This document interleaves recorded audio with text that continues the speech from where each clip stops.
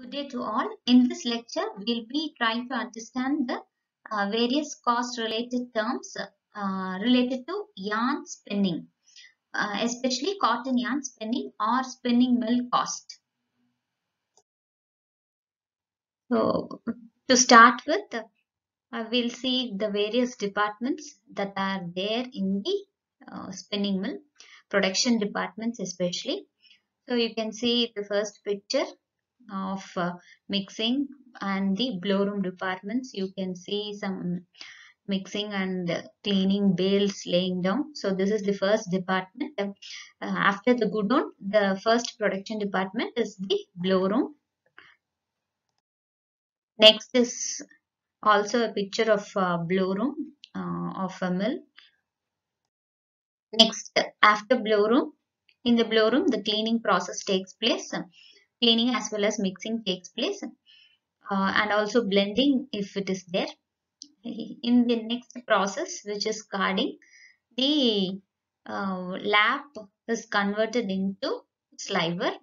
So here also intense cleaning is happening and the form uh, in lap form, usually it is chute feed nowadays. but the sheet form is converted into sliver form Next, uh, this is also a carding machine. Uh, this is Trützschler card and the earlier one was uh, LMW card. So the next is the draw frame. After carding, the sliver cans are fed into the draw frame wherein the drafting and the doubling takes place and you get a more uniform sliver out of draw frame. So this is also a picture of draw frame.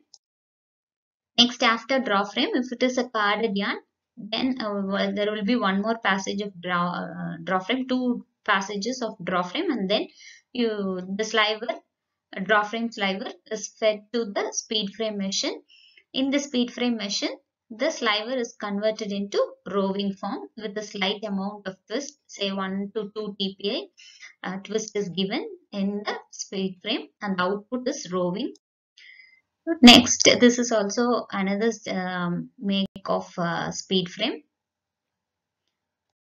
Next is the ring frame wherein the actual yarn production or the main, this is the main production department. Before uh, or the ring frame, all the processes are called as um, preparatory processes. This is the yarn spinning process. In this, the roving is converted into yarn form with the high amount of twist. Mechanical spin, this is mechanical spinning.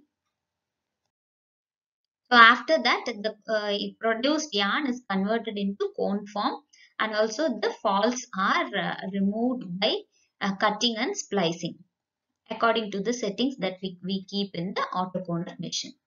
Maybe cone winding or autoconer. Here the picture shows an autoconer machine.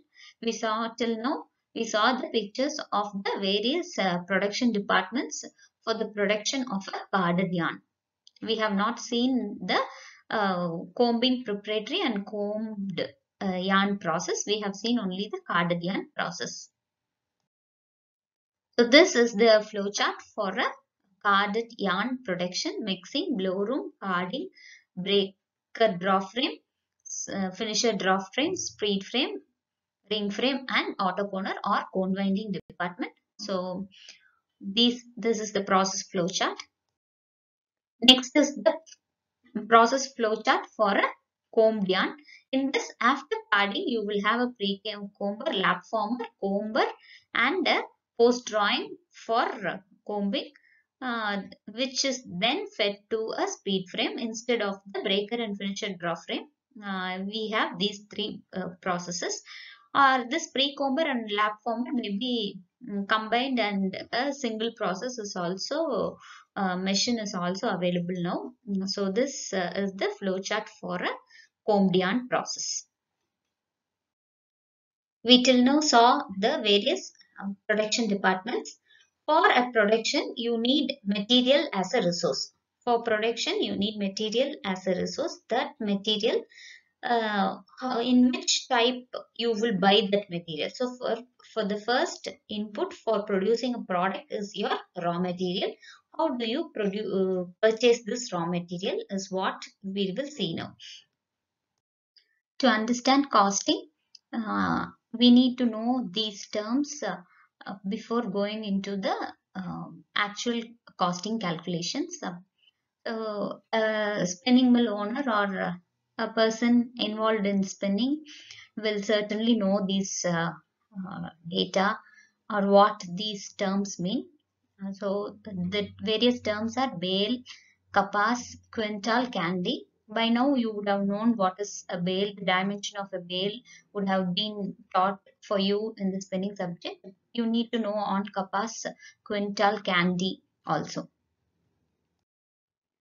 So a bale is some kg of raw material. So how much kg I want you to uh, find in the internet.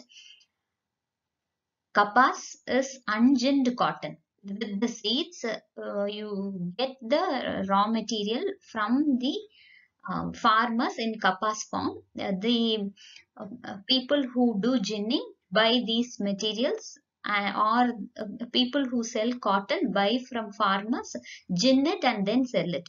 So when they buy from farmers, the it is raw cotton, unginned cotton, and the weight is usually in quintals. And after ginning, it is uh, actually said in terms of candies. Ginned cotton you coated in candies, unginned cotton coated in quintals. So a bale is 170 kgs in India. The bale is different for different countries. Kapas uh, usually weighed in quintals. Quintal is 100 kgs. And then after these kapas uh, are brought by the ginners and they gin the cotton and they remove the seeds and they pack it in the form of candies which is 355.62 kg is one candy. So usually uh, the prices in the market are quoted in the form of candies so which is varying day by day. It is like stock market. Each day also there will be price variations so uh, cotton price is like gold price. Every day it changes. Cotton uh, price is like share market. It rises and goes down. So an approximate price i'm i'm telling this uh, this is uh, 2019 data. Some some variety was 44500 per candy. After purchasing the cotton in the form of candies, then production is done. The production may be carded yarn or combed yarn. As we saw already, the production departments was already shown to you. After uh, So, uh, this is what is done for uh, the raw material is purchased in the form of candies. Price per candy, just for knowledge, I have said. And the production departments you would have already known. Now, we'll go into the yarn costing what is the need for yarn costing or why costing for a spinning mill? This is in general, you would have learned why you do costing. Uh, specifically for cotton spinning mill or a yarn spinning mill or a blended spinning mill, what is the need for costing?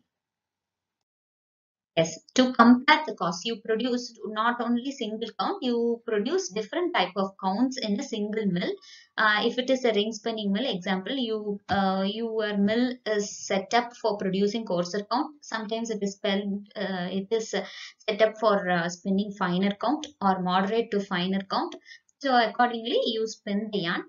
And to compare the cost of various counts. It is not going to cost the same for a 20 yarn and a 30 yarn. Certainly it is going to be different.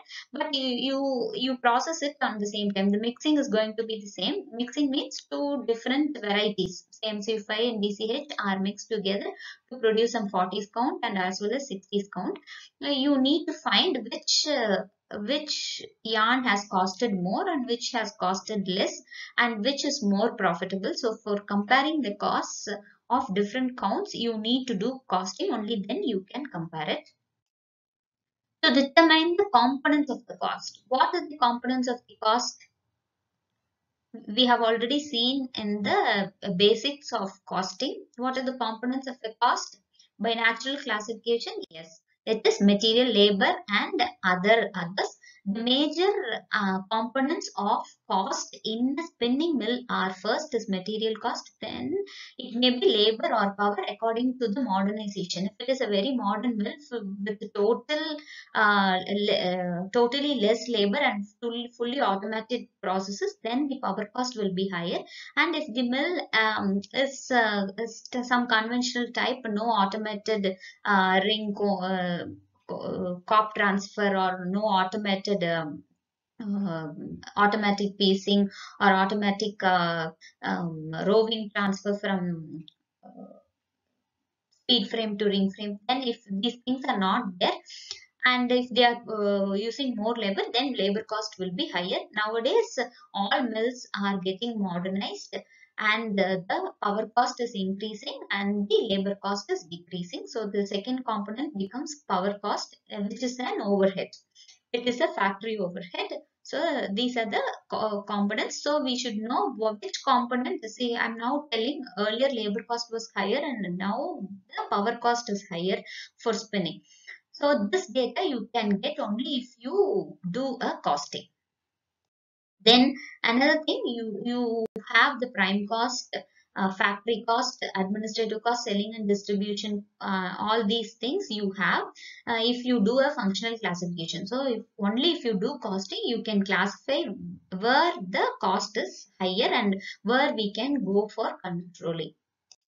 So to determine which which is a profitable count. By comparing various counts, you can find which is a more profitable count and which is profitable in prime cost, uh, which is contributing more and then when you sell it, which is a profitable count. So which area is contributing and which is a profitable count can be known by uh, doing costing. Then uh, you may have one one type say you you mix MC5 and DCH in some proportion say 50-50 proportion and you uh, uh, produce various counts then you mix it in proportion of 40-60 or 60-40 those uh, changes in the mixing if you produce it for some period and next you produce it for some period you determine yarn quality you uh, you produce the yarn quality according to the customer requirements. And you will see which type of mixing you, you have used is going is has been more profitable. To find out that you need to do costing at various periods for different mixings. Only then you will be able to get the data and you can optimize your mixing in your uh, uh, factory. And next, to estimate the cost and also the price when you are going to spin new pumps, which you have not spun earlier in your uh, mill, uh, but there is a market for that particular count now, then you can spin that and see if it will be profitable and what you can estimate the cost for that new uh, type of count also. So uh, with this data, you can uh, do cost control uh, by seeing where the cost has risen up and you can also do cost comparison between mills and these surveys are provided by SITRA and SIMA in South India for cotton spinning.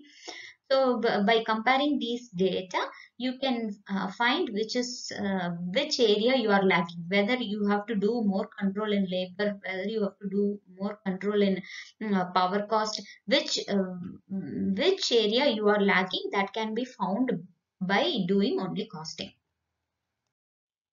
Next, we will see the classification of uh, costs in a spinning mill. We have seen the general classification already uh, in the basics. Uh, uh cost has been classified based on nature, based on uh, traceability, based on function, based on behavior uh, and other classifications. Now we will see the major classifications that are commonly used in spinning mills for comparing the costs, estimating the costs and controlling of costs. The first classification is uh, the classification by element or nature. Yes, it is uh, classified as um, material cost, labor cost. See, I have shown material cost is higher and labor cost is lower and overhead cost. In overhead cost, the major cost is your power cost and the other overheads that are contributing um, more in the cost sheet are stores, interest, depreciation and then the other costs. So this uh, is these are the costs that are incurred in a yarn spinning. So the uh, percentages of the various costs are given here. Raw material accounts to the major component in a textile mill or in any textile process. The raw material is the major component of cost. That is why we uh, uh, are very concerned with wastage. We are trying uh, so much to reduce the wastage. So if you uh, reduce the wastage by one percentage, then you will have some uh, uh, revenue in lakhs. Let's say if it is some uh, 50,000 spindlage. So uh, we are going to concentrate more on waste also uh, during our costing process. So the major component is the raw material cost. It is usually shown in the data as RMC, raw material cost for comparison purposes. And next is wages and salary. We have seen here it is it is it is varying from 8 to 12 percentage. The power, uh, the major component, as I said already, uh, the power cost uh, is uh, not the cost per unit is increasing. Not only that is increasing, but also the say it was earlier 5.5 rupees um, per unit, and now it is 6.5 per unit. But I'm not telling about that. I'm telling that there is more usage of power also in an uh, textile industry due to modernization. Because of that also the power component has increased. And next the stores interest for the uh, for the current dealings uh, for purchase of cotton, those things, and also for the long-term loans that they have purchased. And then depreciation of the machinery is 2.5 percentage, which is uh, uh, which is common in the textile spinning mill and the other overheads. So these are the major uh, elements of cost in a spinning mill. The same has been shown in the pie chart with the exact details. This has been put uh, for a spinning mill. So in a spinning mill uh, which had produced uh, combed yarn, the 60 this 60 percentage was for raw material cost. You can see 13 percentage for power and 5 percentage for raw material. We can see there was higher depreciation also in that mill and the other costs are also given here interest. Sometimes uh, they buy for a very high interest then the interest is very high. So we can see the various components of the cost in this pie chart also.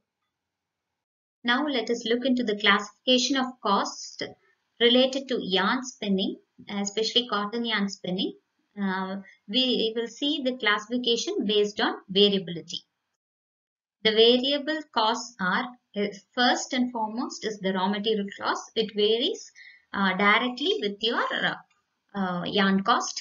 And next, the wage cost of the direct operatives who are involved in production.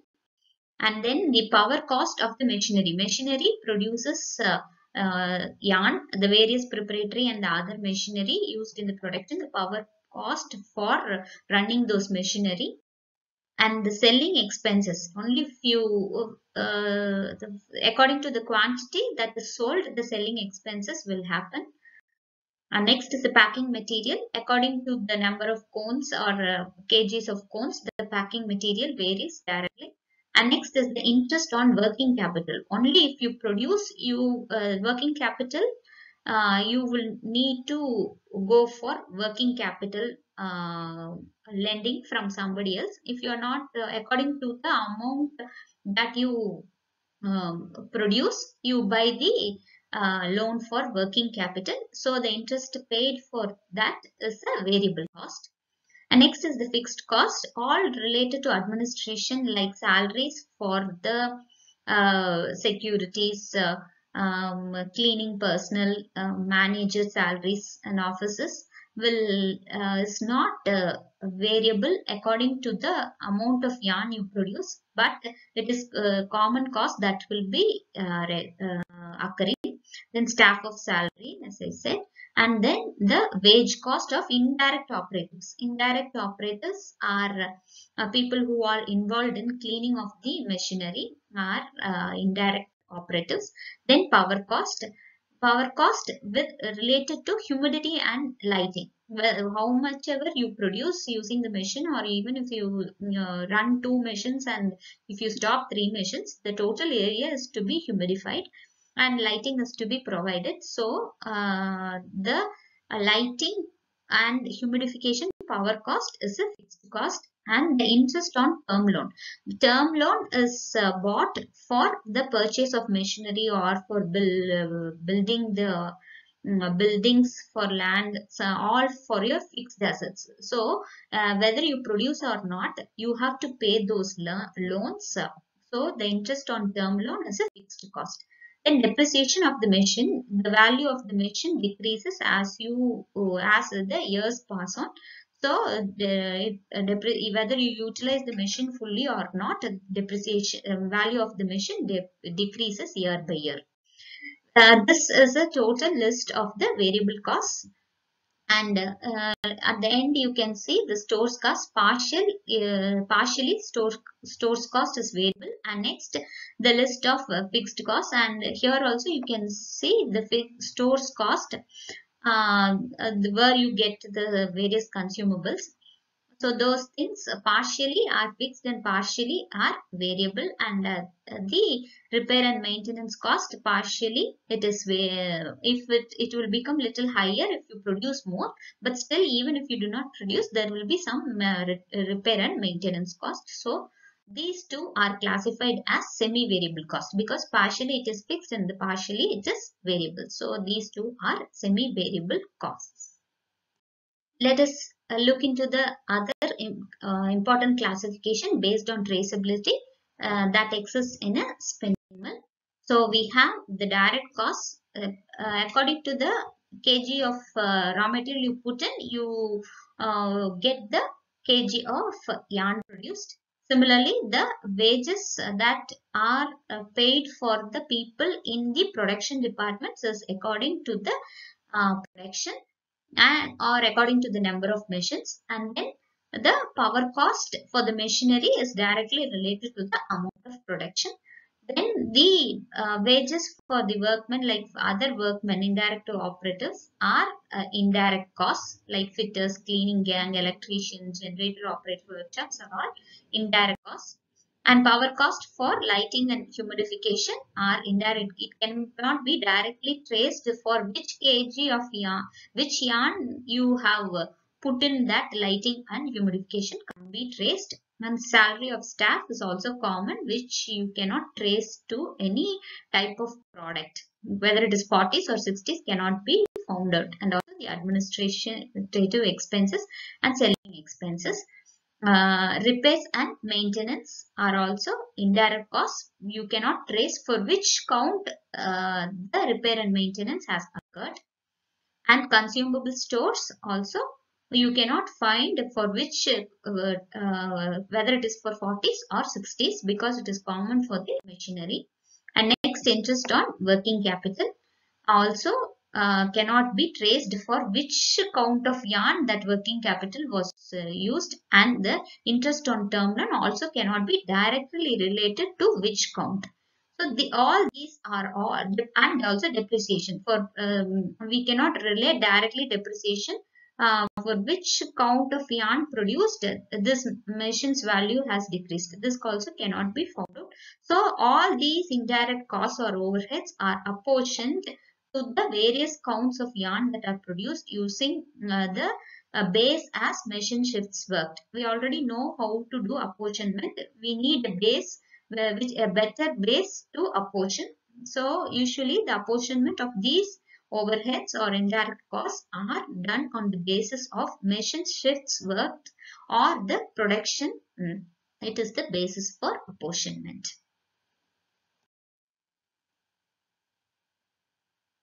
This is the format of a cost sheet. Uh, usually in a, a mill, various counts will be produced and they will be tabulated and the various components of the cost sheet are will be shown like this. This is uh, the usual format that is used in the spinning mills for uh, um, the for comparison purposes. Uh, which to find which is a more profitable count that they are producing in their mill.